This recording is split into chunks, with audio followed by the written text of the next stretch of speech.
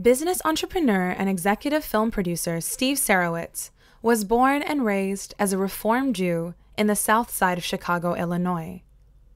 He first encountered the Baha'i faith in his early 20s while attending the University of Illinois. Almost 30 years later, a philanthropic trip landed him in Haifa and Akka, Israel, the world center of the global Baha'i community, where he soon after declared his faith in Baha'u'llah.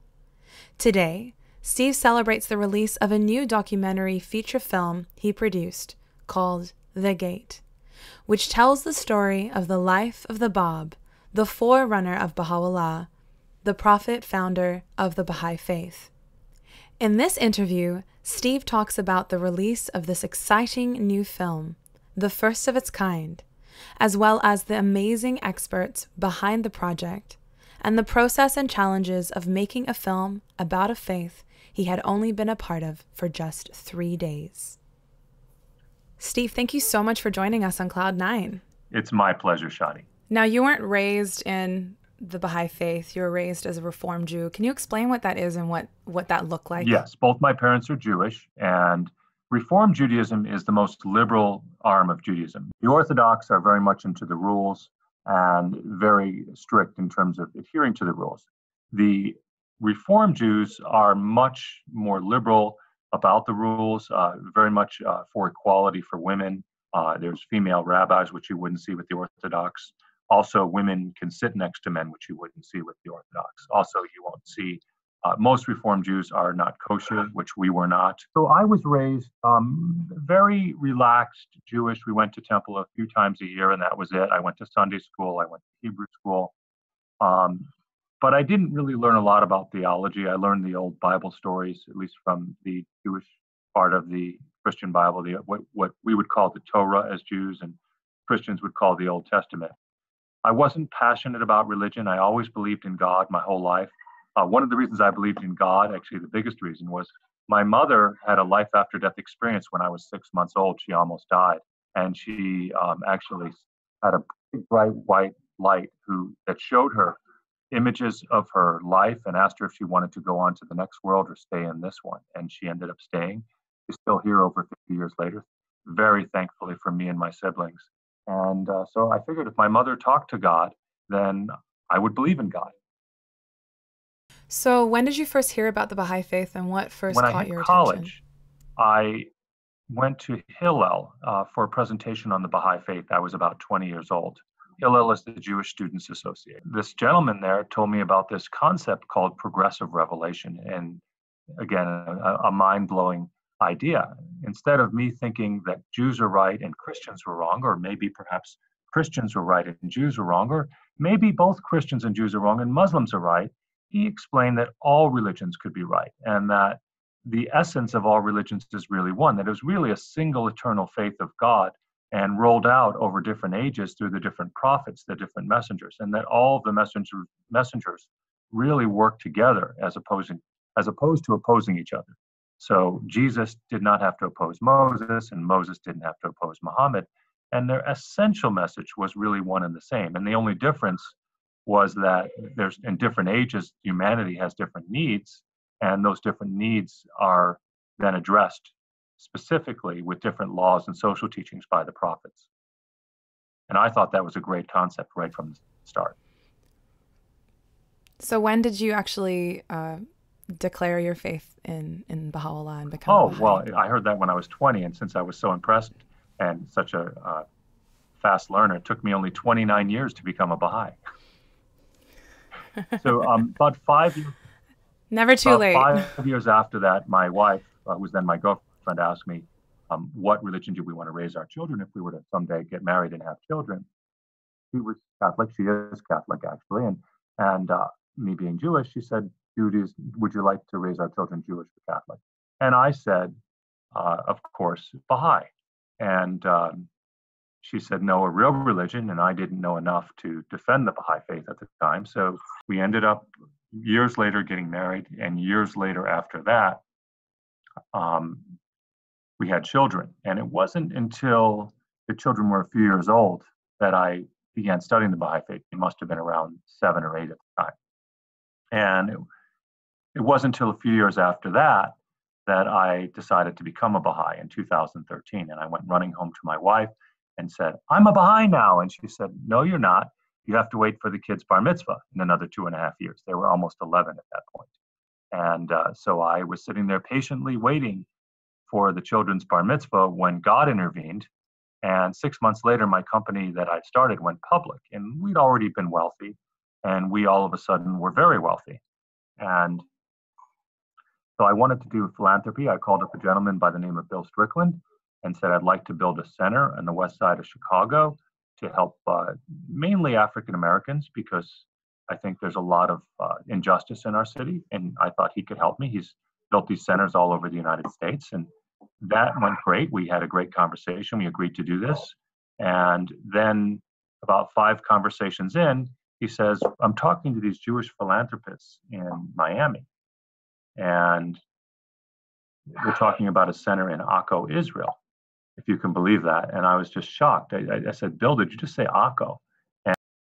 No way. So that that's such an amazing coincidence. So essentially, for those of you who are not aware, the Center for the International Baha'i Community is located in Akka, Israel. And it's essentially where Baha'is face and pray I, to. I, I jumped day. on the opportunity. I went to Akko, and while in Akko, I stepped into the garden uh, of at the shrine of Baha'u'llah, and I started crying and had an incredibly emotional, spiritual transformation that really has changed my life ever since. Um, I saw world peace in that garden. I saw that Baha'u'llah had brought a new age for all of humanity. And I saw that that garden, that Garden of Eden, was sitting there miles away from a war zone. And uh, within a few months, I was a Baha'i, even though I, I didn't wait for the bar mitzvah. you couldn't wait any longer. I, I think uh, Baha'u'llah had called me. Uh, what was your wife's reaction to that? Well, I went to my rabbi first and I said, Can I become a Baha'i? And he said, uh, uh, You're not a Baha'i already? And then my children, uh, they were they still were a little worried. I said, Don't worry, I'll pay for the bar mitzvah and I'll come and we'll have a good time. and they were okay after that. And then my wife was a little bit upset with me because I'd made a commitment and she said I was breaking my commitment. And, and I was. But I, I just told her, I'm really, really sorry, but I have to do this. And she finally agreed. How wonderful. It's lucky for you, I suppose. Could we talk a little bit about your career path? Because I know that you didn't start off in filmmaking. So, how did you end up making a film about? So, uh, three days after, so on February 10th, um, 2015, I declared as a Baha'i. Three days later, I emailed a friend of mine who was also in the payroll industry, which is the industry where I made my money. And uh, he is a very friendly competitor, and he's been a Baha'i for his entire life. And I emailed Farshid, and I said, Farshid, I'm a Baha'i now. I said, I want to retire in a few years and just teach the Baha'i faith. And Farshid said to me, You could do that. You could reach hundreds of people. But if you made a movie, you could reach millions of people. And within an hour of my conversation with Farshid, I got an email from a gentleman by the name of Peter Samuelson. And it just so happened that Peter is also a movie producer. In fact, he produced a very famous movie called Revenge of the Nerds. So here I am talking to a, a famous, a relatively well-known Hollywood producer, less than a hour, less than an hour later after I've been told to make a movie. He said, fly out to LA. I was flying out to LA anyway. And we ended up meeting. And in the course of our conversation, uh, we ended up running into another Hollywood producer who was sitting right next to us, uh, who had also been talked to about a Baha'i movie. And I thought, wow, these are too many signs. And I thought, well, I, I think I should maybe do this. And, and Peter thought it was a good idea and said to go do it. Um, two years later, almost to the day, um, we were in Peter's living room filming the first interview for the movie. So, could you tell us a bit about yes, uh, film? First of all, I'm very happy to announce that as of a couple days ago, we have a Peabody Award winning director, Bob Hercules. The movie depicts the amazingly exciting story of the Bab. It starts out in the 1840s with great expectations among Jews, Christians, and Muslims that a promised one will come. The Jews expect the Messiah, the Christians expect Christ, and the Muslims expect the return of the 12th Imam. The Jewish expectations end in disappointment. The Christian expectations all over the world end in disappointment. Yet the Muslim expect- expectations at the same exact time, which is ironic, the year 1844, in Persia, do not end in disappointment. The Bab declares on May 23, 1844, as the promised one of Islam, the return of the 12th Imam. And our movie follows the uh, his very brief but uh, amazing career in ministry um, and how he's really shows how he's changed the world even up to this very day and how he heralded Baha'u'llah, who then declared as the promised one of all faiths. So, what inspired you to make a film about the Bab? I mean, not many people have really heard well, of him I before. wanted to make a film to help spread the word that the Baha'i faith exists. We're not looking necessarily to convert people and make them Baha'is, but so many people have just never even heard of the Baha'i faith. And to me, it's amazing. You know, if you look at the world, there's only very few major religions. There's a lot of sects within those religions, a lot of divisions. So if you look at Christianity, there's there's thousands of different types of Christianity, um, and there's different types of Islam. But when you really look at the major religions, there's only a handful. There's Islam, there's Christianity, there's Judaism, Buddhism, Hinduism, Zoroastrianism, and then there's really not too many others. There's divisions uh, within those.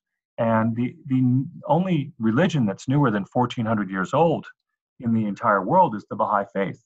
And so I think it's amazing that more people don't even know about the Baha'i faith. So I. So why why the title? The Bab's the Gate? name actually that's a direct translation of the Bab's name. Uh, the Bab means the gate, and if you go to Muslim cities throughout the Middle East, they have these beautiful Babs there, gates, and they're not like a garden gate that you typically think of in the West, but they are beautiful, ornate gates leading into these cities. And uh, I think of the Bab as an incredibly beautiful gate leading all of humanity into the New Age and into the Garden of Baha'u'llah. That's a really beautiful analogy. Could you share a bit about the person of, of the Bab and how he paved the way for the coming the of Bab was really unusual um, in you know in many many ways. Um, we as Baha'is believe he was a messenger of God, and every 500 to 1,000 years, God sends a messenger of God. So the previous one before him was Muhammad. Before that was Jesus, and so it's not every day you see a messenger of God. Um, he was known for his innate wisdom. In fact, when he was sent to school, they sent him home because they couldn't teach him anything. He was a merchant prior to declaring as a messenger of God, and he was known for his absolute honesty. Um, he was just um, impeccably honest. You could he would never lie or cheat anyone, and he was ultimately fair down to the penny. He was known for tremendous virtues. He was tremendously pious, tremendously honest, kind. Um, just uh, like every messenger of God, his person was the greatest proof of who he was. And then he was also a prolific writer. He wrote the equivalent of dozens of Christian Bibles in a six-year ministry. So he um, he really, unfortunately, his life ended after only six years of ministry. But his contribution to um, the age is amazing, and he sacrificed his life for humanity, much like 2,000 years earlier Jesus Christ had done. So, as you've mentioned, the Bab had a very difficult and, and tragic life. What aspects of his life and identity did you want to highlight through the I making think his, of well the throughout Gate? the gate, uh, the the story, his story is quite amazing. Uh, Shoghi Effendi, who was the guardian of the Baha'i faith, the great grandson of its founder, uh, compared the Bab's life to the story of Jesus Christ, and he said that there was no story um, even close when it came to comparisons and parallels to Jesus Christ, and I would agree. Uh, a young, uh, charismatic uh, prophet going against uh, very entrenched orthodoxy. Uh, the story of his martyrdom is is quite amazing. Uh, he was shot at 750 times, and when the smoke had cleared, he disappeared. They, they found him back in a cell, and he had told them before they tied him up, uh, they suspended him against the wall that, that he, no earthly force could take him until he was ready to go. And when they found him back in his cell, he said, "Okay, I finished my mission. Now, you can kill me." And so they actually had to take him a second time and tie him up or suspend him from the wall. And uh, it was only after the second try with 750 guns that they were able to uh, kill the Bab. Uh, his incredible teachings. Um, I, he, he, had some wonderful teachings about the resurrection, about the oneness of all things, animals, plants, humans. His teachings really are the basis, uh, the underpinnings for the Baha'i teachings that Baha'u'llah brought. They kind of fit like hand in glove. So I find that the Baha'i teachings in general unspeakably beautiful and really applicable to, to the problems we have in today's world. So, because this was the first time that you'd ever made a film at such a scale, could you share a little bit about what you learned and some of the tricks of the trade uh, that you gained throughout well, this experience? I'd never made a film before. So, uh, I like to say that, uh, you know, three days into it, I decided to, uh, three days into being a Baha'i, I decided to make this film. If, if God had waited four days to ask me to do this, I might not have done it. I might have been too smart. But uh, it's probably uh, foolhardy to do what I did, which is to start making a multi-million dollar film uh, with no filmmaking experience uh, and three days experience in the particular religion that you're that you're talking about. but I have done crazy things before, as I mentioned. I'm an entrepreneur, and uh, so first of all, in any business, you know what I learned along the way is filmmaking is a business, and so we need to put people in, in the places where they're best So, yeah, totally. Uh, you have an amazing team. Could you share a little bit about who they are and their involvement in the I've been very fortunate to work with some amazing people. Um, Ed Price, um, who's been by my side throughout this venture, is an amazing Baha'i scholar, uh, really deep in Baha'i. He's taught me a lot about the faith, not just helping me with the movie. Bob Hercules is, is a consummate professional. I, uh, Adam Monshine, who's become our co-producer, was an actor. We originally hired him as an actor, uh, Mullah Hussein and he ended up being our acting coach in Spain, uh, and then eventually helped us really finish the movie. Uh, Jan, who's our editor, has done a, a, an outstanding job. Um, just every step along the way. Um, Trisha Ford, who is a, she's only come in towards the end of the movie, but has done a great job in, in really organizing us, uh, kind of taking care of every administrative task, and and then quite more than that. I've I've just been very fortunate to have good people around me. The experts that we interviewed, I'm in awe of, uh, particular Dr. Nader Saiedi. Um, he's forgotten more in the last five minutes about the Baha'i faith than I'll ever learn. Uh, he's one of the greatest religious scholars in the world. And I've been, only thing I can say is I've been privileged to spend the afternoon, actually more than one afternoon, to, to spend several days listening to Nader and learning uh, as much as I can, like a sponge, about the Baha'i faith and about the Bab and Baha'u'llah. Um, we were very fortunate to um, interview Firuz Kazemzadeh before he passed away. Again, I've been, I guess I'm just grateful to the people I've met along the way. What was your intention behind interviewing and meeting with these well, um, experts? Um, most of the experts, especially initially, were academics, uh, like professors and people who were experts in the faith. So we're trying to get their expertise and really verify that we got the story 100% accurate. That you know, accuracy was really our intention.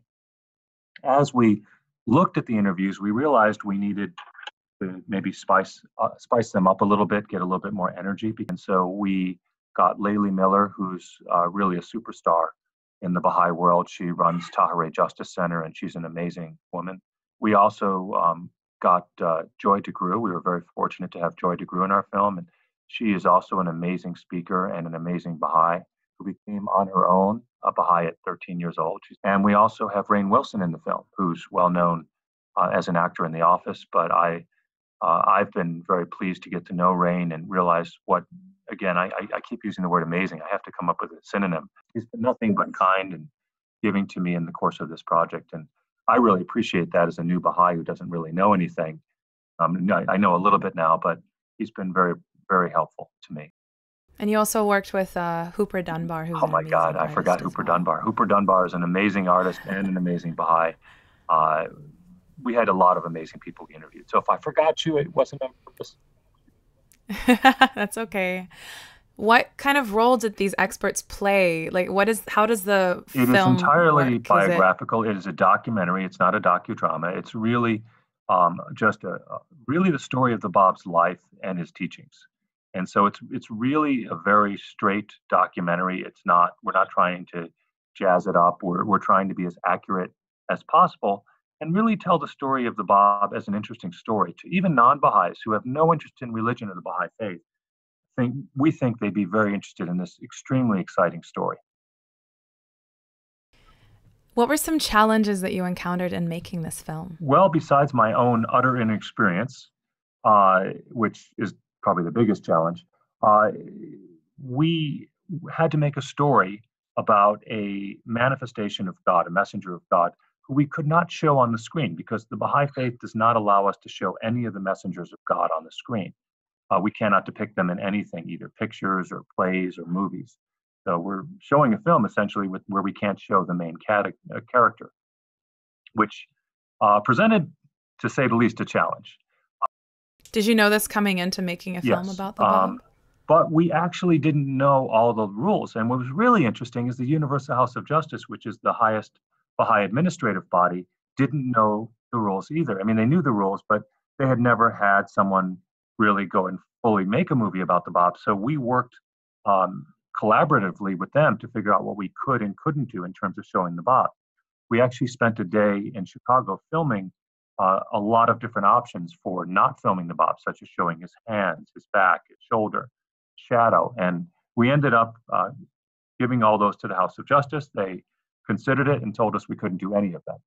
So we ended up really having the Bab completely absent from the film to the point where we can't even show other people conversing with him. So it's very, very strict. And so we- it sounds like very constraining parameters to work within, but I suppose an amazing learning opportunity for yourself and the Baha'i community, also the directors, but most importantly, uh, the Baha'i institutions. And we, we were fine with that. It uh, was a little bit of a challenge for Bob Hercules, our director, and, and Keith Walker, our director of photography, but they are professionals and they really did an amazing job. Neither one of them are Baha'is, and they both did an amazing job, uh, along with Adam and Ed, who also came up with ideas, and even a couple of ideas from me uh, on how to get around that problem. The other challenge, which is a, a kind of a, uh, a corollary to that, is that he's a messenger of God. So imagine you're the person who's doing the first movie about Jesus, and the whole world hasn't heard about Jesus. Basically, if you really look at it statistically, almost nobody has heard of the Bab. And yet, in my eyes, in the eyes of all Baha'is, the Bab is every bit equal to Jesus.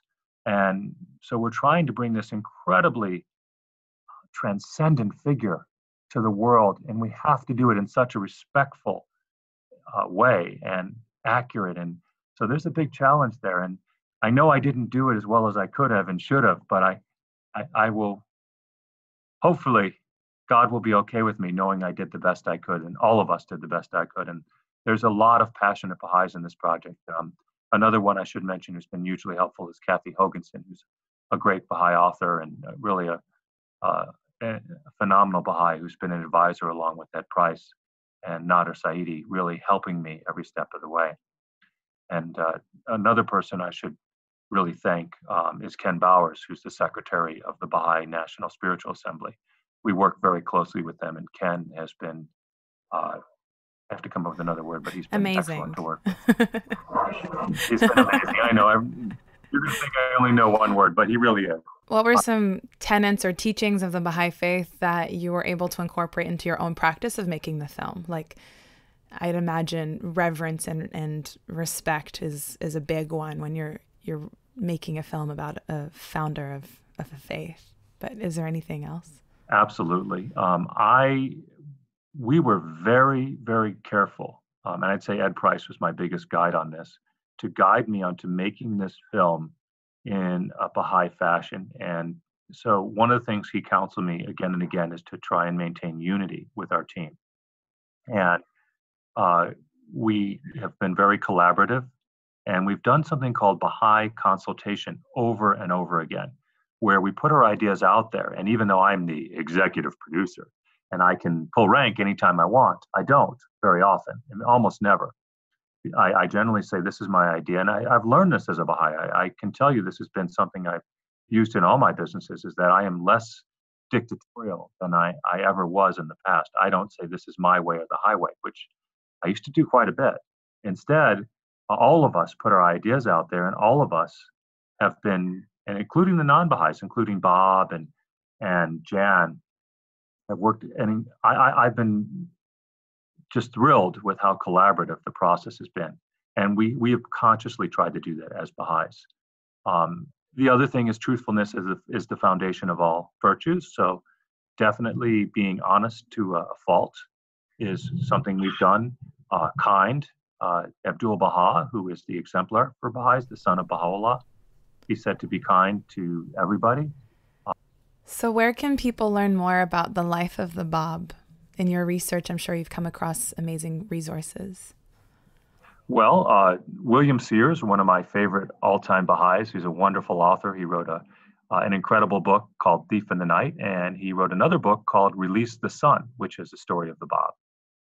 Ed Price doesn't have his book out yet, but he will, and it's going to be part of a series called The Divine Curriculum, and that should be coming out hopefully in the next few months. He'll have a book on the Bab.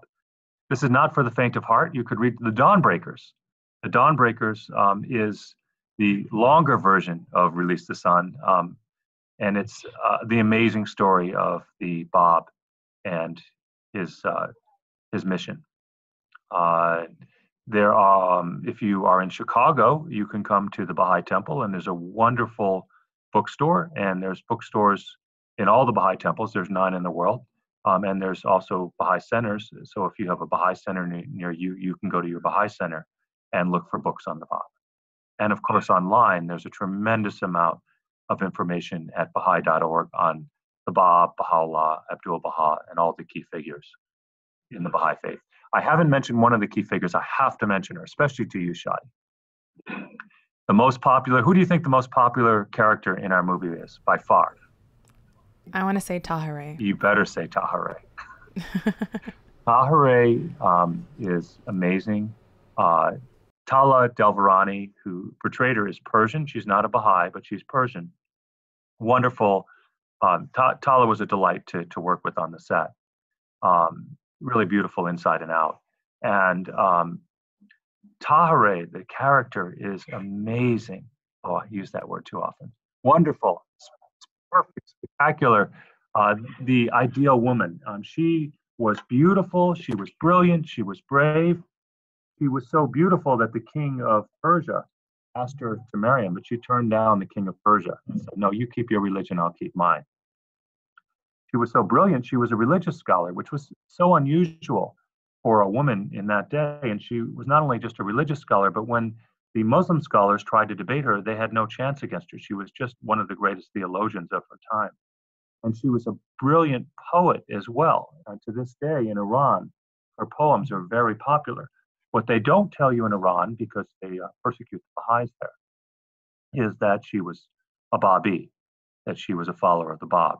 She, her, her poetry, her, the, the, her acumen as a theologian were really unparalleled. And on top of that, she was an amazingly, from what I've heard, and uh, he, she was a very pure person, very spiritual, kind, uh, charismatic, uh, what I wouldn't give to meet Tahereh. Uh, she was the greatest woman of her dispensation. She was quite the quite the feminist as well for her time. Yes, um, she actually um, in 1848 she was the one to publicly announce that the Babi dispensation was a new religion. So the Bab actually created a new faith called Babiism, which was then uh, replaced by Baha'i 19 years later when Baha'u'llah declared it by design. The Bab said his faith would only last for for several years, and then he he said the one who shall be who the one whom God shall make manifest will appear, and that of course ended up being Baha'u'llah.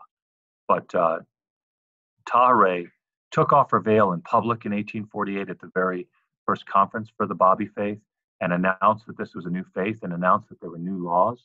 One of the new laws was equality of women, uh, equality between women and men and um, and uh, the within a couple of weeks of that, the first women's rights convention happened in Seneca Falls, New York.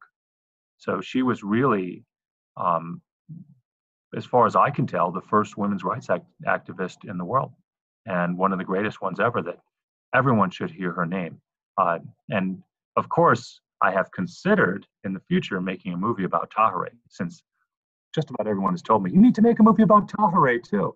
And uh, I would love to make a full length uh, drama, a full length picture, not a documentary uh, about Tahirih. So until that time comes, where can people learn more about the film that you'll be releasing in the next few weeks, The Gate? So they can go to our website. Uh, they can find us on Facebook at The Gate Film. You can also um, find us uh, at our website, which is www.thegatefilm.com, and they can find us on Twitter as well. And when will the film be released? The film will be released in May. Um, it will be released nationwide on ABC, and there will also be uh, grand opening premieres in Chicago and Los Angeles. The Los Angeles premiere will be on May 9th, and the Chicago premiere will be on May 12th. And for those of us who don't live in the United States, is there a way to watch the film online or access it? We are going to be requesting permission to show it internationally. We certainly hope that we get that permission, and if we do, we will be able to have showings all over the world. Um, we will also be uh, putting it out there within the next few months to places like Amazon Prime and or Netflix, wherever we can put it up on uh, for for streaming. So internationally, it will be available for streaming, and we hope to get permission to stream it uh, with subtitles in many different languages. Wonderful. Even in Canadian, whatever Canadians speak. I don't. I don't really know. it's a bit of everything, I suppose. Thank you so much, Steve, for joining us on Cloud Nine. Really appreciate your time and uh, your initiative in creating this. I'm sh- what I'm sure will be a beautiful film and learning experience for many of us. That means a lot coming from you, Shadi. Uh, as you know, I'm a huge fan of yours.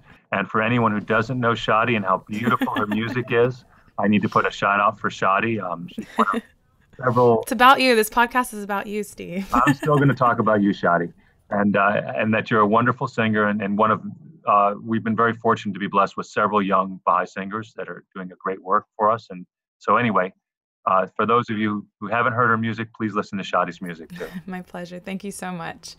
Uh, take care, and we hope to catch up soon and, and learn more about your journey.